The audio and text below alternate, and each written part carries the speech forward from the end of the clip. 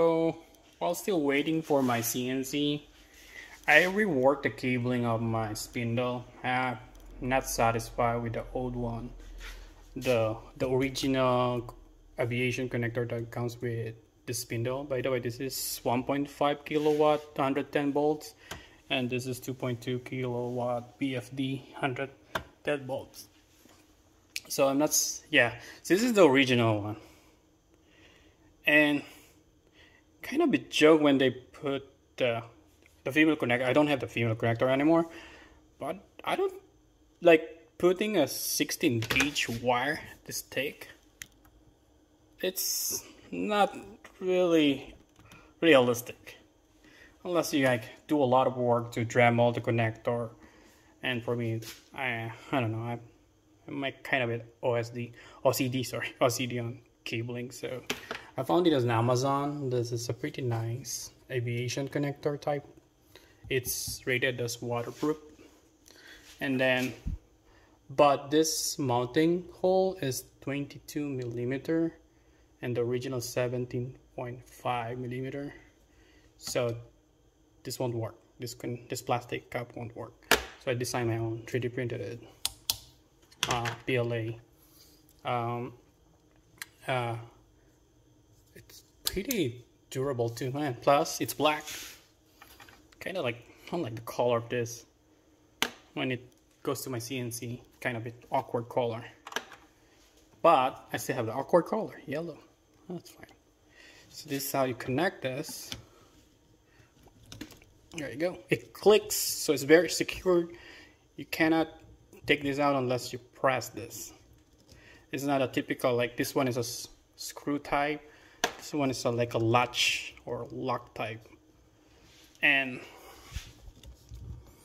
it's way easier to solder. Uh, you don't even need to put uh, on the soldering tab, you don't even need to put heat shrink because the plastic has like kind of the each pin kind of have an insulation barrier in between. So technically you really don't need to put uh, uh, heat shrink for each pin. Just solder it really, really good, nice contact. Uh, and then you're good. You just assemble this plastic. It's easy to assemble too. So let me see if I can show to you what it looks like. Let's see if I can still disassemble this. Okay, let me remove this one. Okay, So just unscrew this stress stress reliever and then there you go.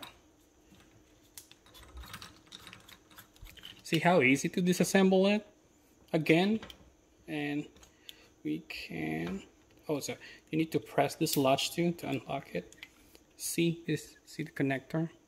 Maybe should get closer get close okay focus. And won't focus.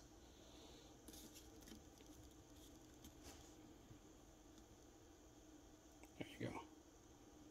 So yeah just look at this plastic insulation divider for the for the pin so you rotate it. Keep it a little bit stiff. Uh, so there you go. Just do your soldering uh, the solder it nice and then you're good. And then you can easily put it back. But you put back is there's no manual in this by the way if you bought it. You kind of need to figure like put it and then push it. You need to press this latch too and then start screwing. There you go. Start with this one.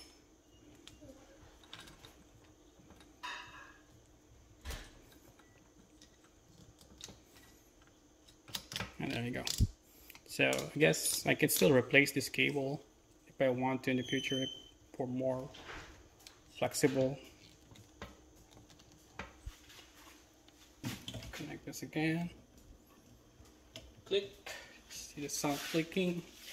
I also mod the VFD to put a, a temperature sensor because the fan, I don't like the fan, it's too loud. Uh, so I use this type of, you can buy this on eBay for $10. This type of uh, thermometer and I put this closer to the source of the heat instead of under here because I don't want to be affected by fan. So I rather read the heat coming from the source rather coming from the cooler. So this will trigger in 45 degrees Celsius if it reaches. So now if you plug it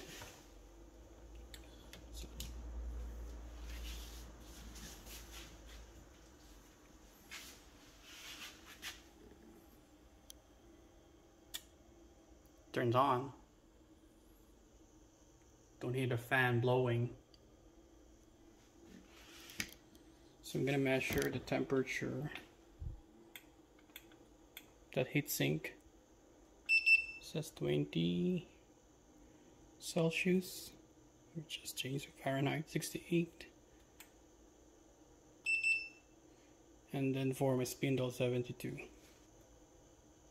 ambient temperature according to my watch is 69 so I'm gonna run this cool this is an air air cool spindle so I just want to see how it performs like running full speed uh, for five minutes. So it's 546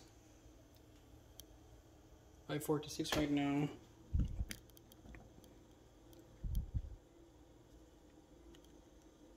run. It's running now.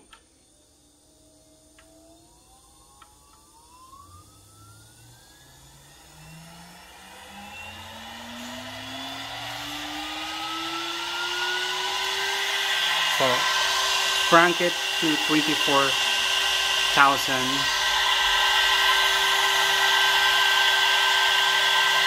again ambient temperature 79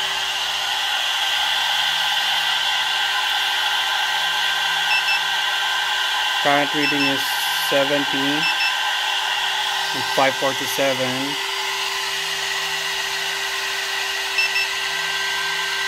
aluminum temperature heat sink is 68 so we're gonna run this for 5 minutes. I'll be back after 5 minutes.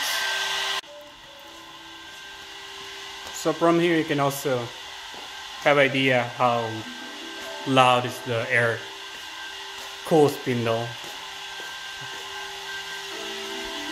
So it's five minutes now.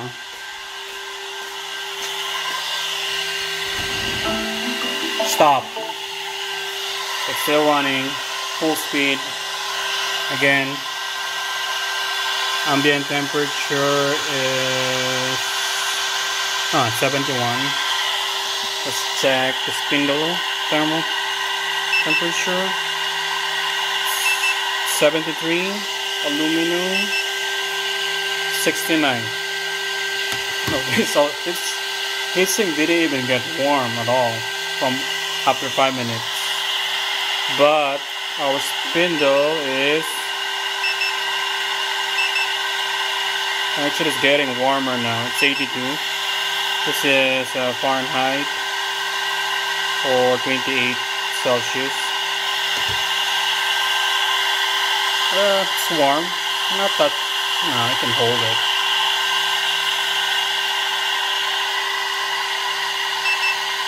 Eighty-three. On the top it's seventy-three.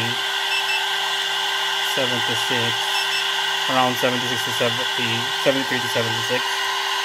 On the bottom is eighty-four and you can see air is blowing here on this cavity and it, air goes suck in here and it blows here all the way to the body. That's how it pulls the spindle uh, so far so it looks good. It's pretty stable. 24 that's the maximum speed. Lower it now. So that's the sound. Let's say set it up to 10,000 RPM.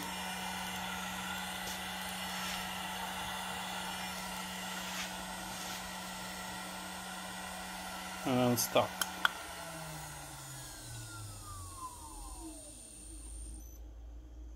There you go.